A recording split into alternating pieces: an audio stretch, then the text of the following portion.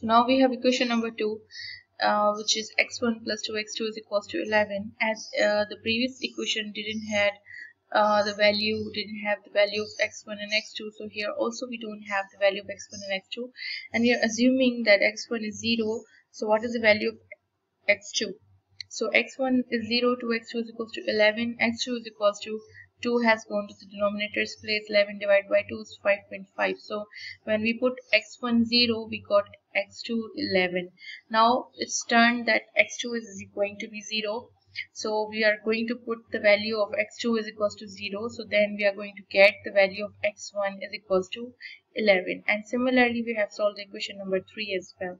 And we have gathered the value of uh, of the coordinates x, x1 x2 0 comma 5 15 comma 0 so we are available with the, the with the values or the, with the coordinates.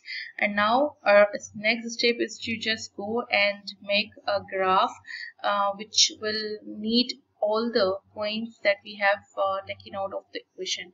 Equation number so i have made a table over here to understand it uh, you know and, and to create the graph easily. So here equation number one we have two coordinates uh, from each of the equation 0 comma 16 8 comma 0 equation number 2 has 0 comma 5.5 11 comma 0 3 uh, equation has the coordinate 0 comma 3 and 15 comma 0 so now what we have to do is to you know make a graph and we will plot the the lines and and the the coordinates on it. So the first uh, here if we look equation number 1 we have 0 comma 16 so we simply mean that x1 is 0 so 0 is here. But x2 for the equation number 1 is 16 right? So 16 will be there. So x uh, x1 is representing horizontal and x2 is representing vertical right? So 16 we have to mark 16 here. This is 16 right? And for the second uh, coordinate from the equation number 1 we have 8 8 uh, of x2 here. And uh, x1 here and 0 from the x2 so we have got two points. If you see two points and now we have to create a line which will be crossing from these two lines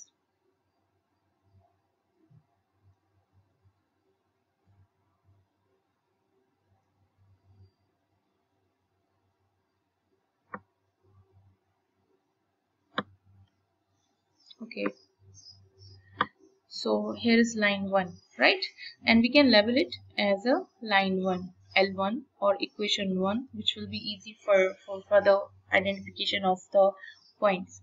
Then uh, we come to equation number 2 we have point 0 and 5.5 5.5 is x2 so we are going to denote it somewhere here.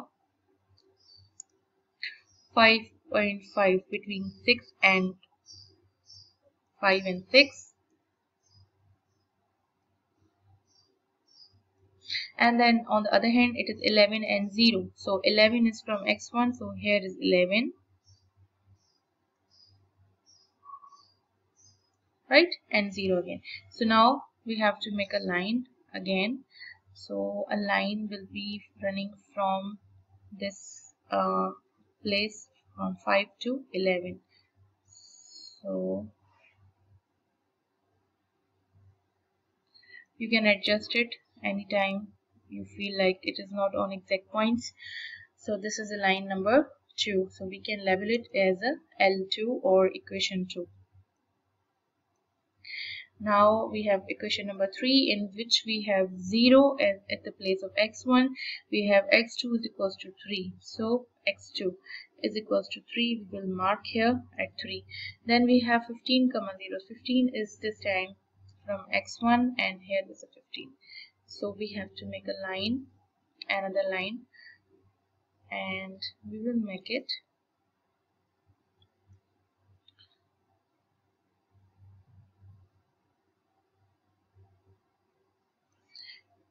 and we will adjust it a little bit so that you can see it much clearer clearly. And this is line 3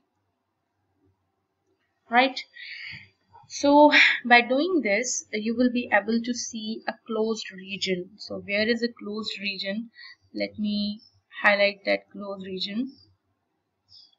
So this region that now I'm going to highlight this one is the is a closed region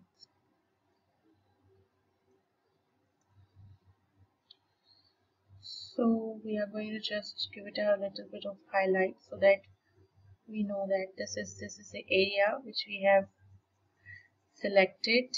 And this means that a problem lies in this region. It doesn't lie anywhere outside but the problem solution is within this region so now according to the same technique that we used uh, in our previous example, we have to create some corner points. So how we will create the corner points? Wherever you are seeing corners, you will label them as a corner. So here, if I show you that here we have this corner this is the second corner where wherever the lines are intersecting and making the corners this is the third corner where the lines are intersecting this is the fourth corner.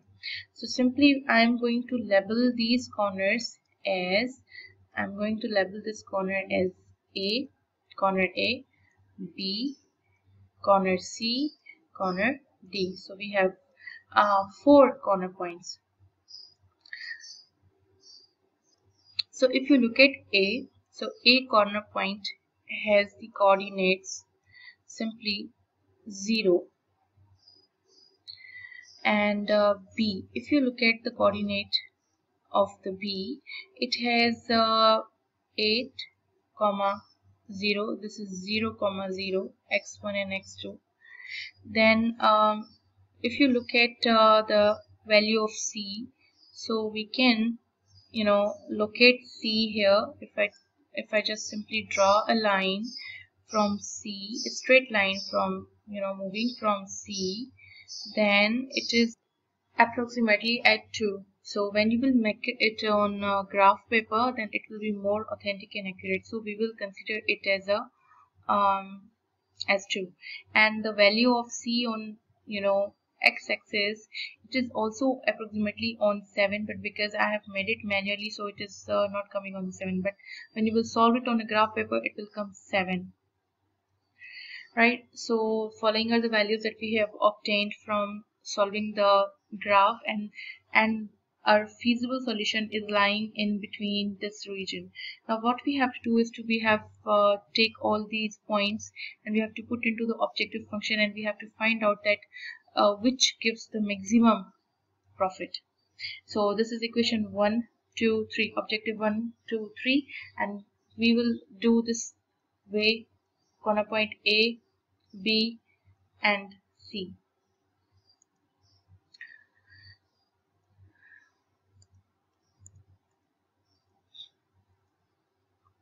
So here you can see that corner point A, B, C and D one more. So we are starting with the A which is 0 comma 0. So if we put 0 and 0 it gives us 0 profit. The second corner point B this is gonna point uh, 8 comma 0 so we have to put 8 and 0 and this will become 30 by 8 and 50 by 0 so so this will become simply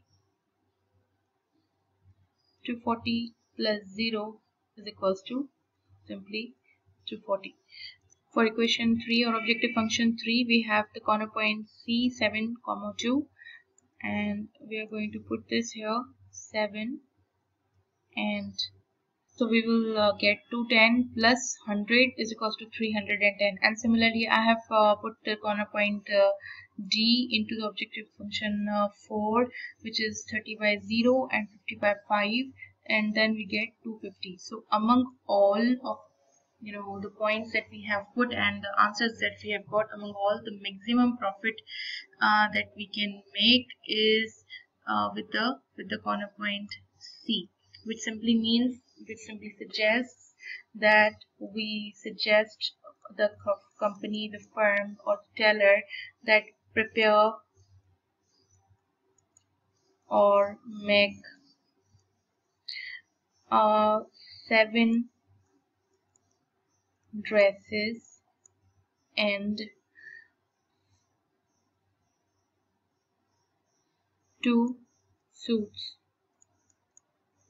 to make 310 dollar or rupees whatever per per day right? This is our final citation to the to the tailor based on our calculations. So i hope this was helpful to you and uh, in last every time you have to prepare some suggestions because this is the part which will help uh, the company or the, or the person to make a decision based on your calculations. So among all which whichever was the highest we choose it and we suggest on behalf of that. Thank you. Allah hafiz